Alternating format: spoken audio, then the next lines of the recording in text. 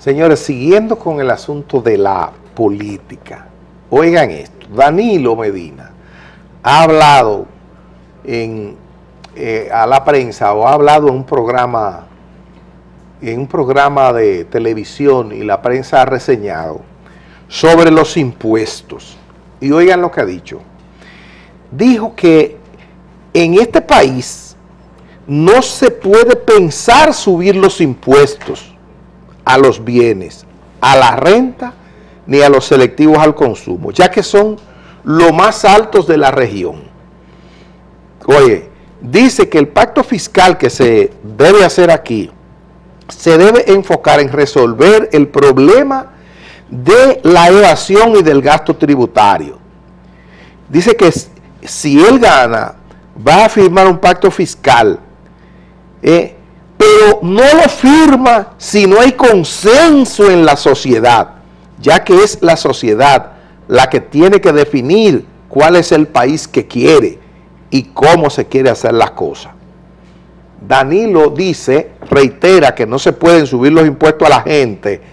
Dice que el ITEVI de la República Dominicana es uno de los más altos de la región, ya que el promedio en la región es de 15 y que nosotros tenemos el 18. ¿Quién fue que subió a 18?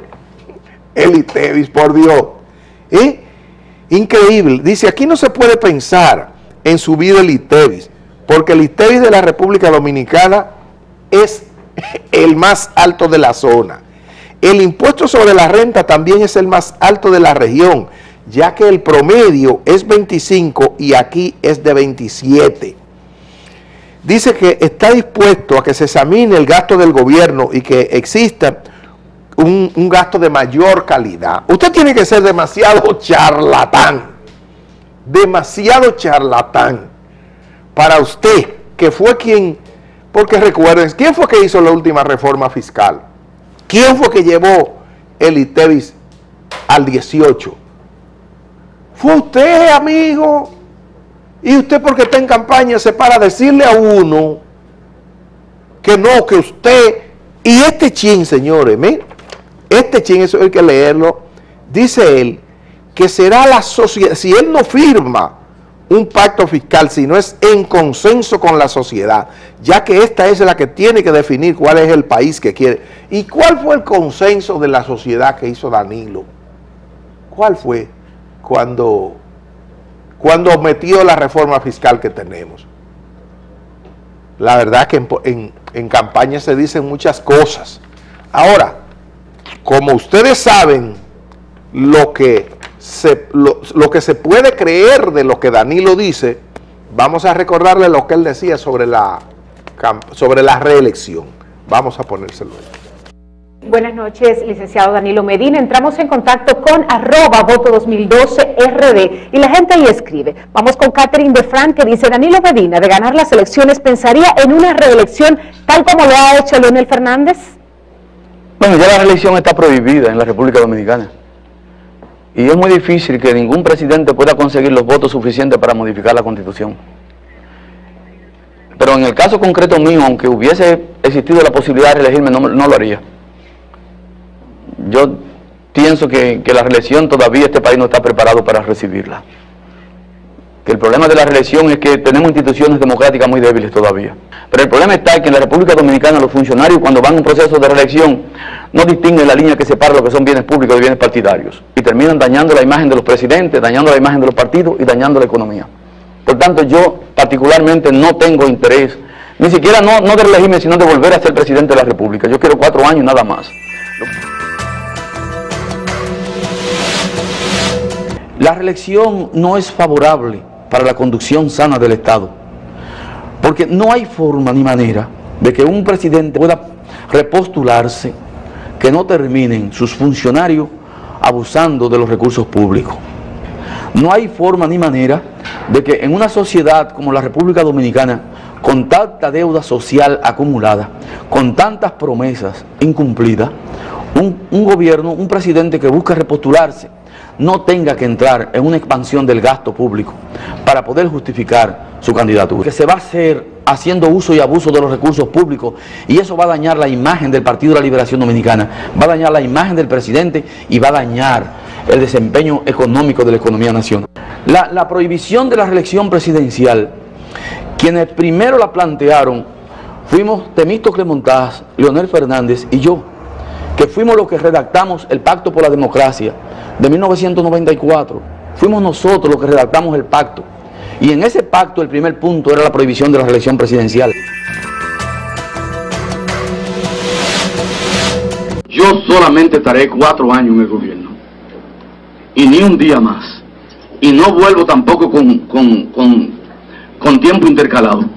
Yo, yo siento que aquí hay una legión de gente que puede ser presidente de la República y que lo que tenemos es hacer, tener un enfoque colectivo, de, partido, de país, y entonces que esas metas que se, que se inicien en el próximo gobierno del PLD no puedan ser cambiadas porque un hombre llegó diferente al Palacio Nacional.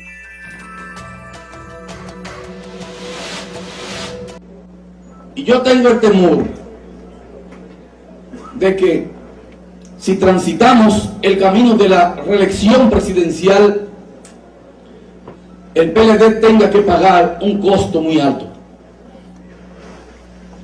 Porque, como dijo el señor Ramón von Bernard, este señor dijo antes de morir que cuando un presidente decidía buscar la reelección, tenía que estar en capacidad de tragarse un tiburón en decomposición sin erutar.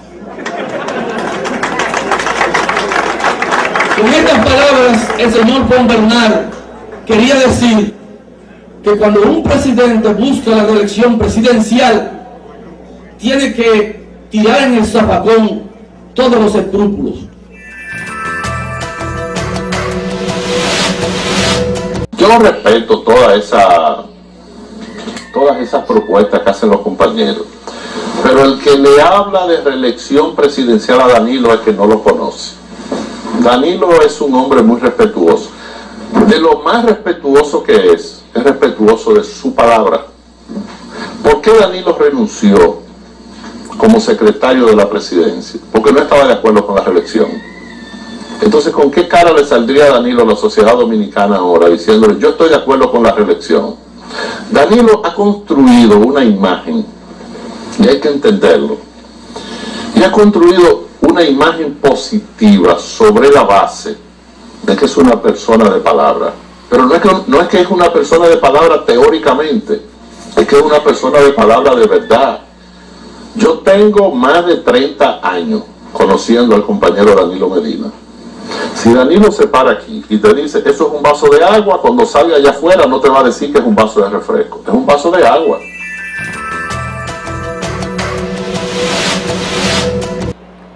Danilo había advertido que para repostularse, antes había que tragarse todo un tiburón podrido.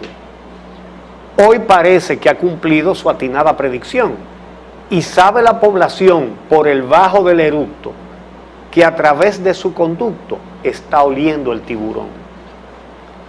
De desayuno y comida, de cena y hasta merienda, con canonjía y prebenda tiene su mesa servida. La historia es bien conocida para nuestra población. Asoma la corrupción como una vieja costumbre y huele la podredumbre del guiso del tiburón.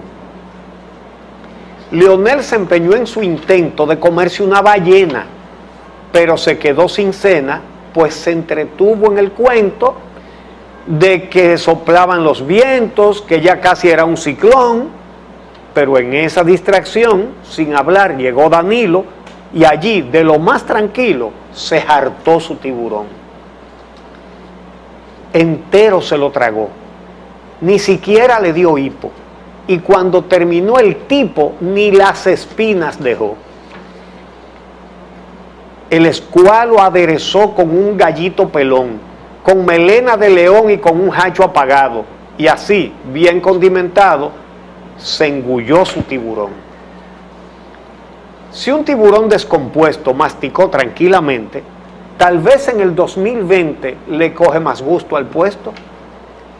Y si se tira dispuesto quizás se engancha en su arpón otra modificación y con razón baladí, con cara de yo no fui, le entra al otro tiburón.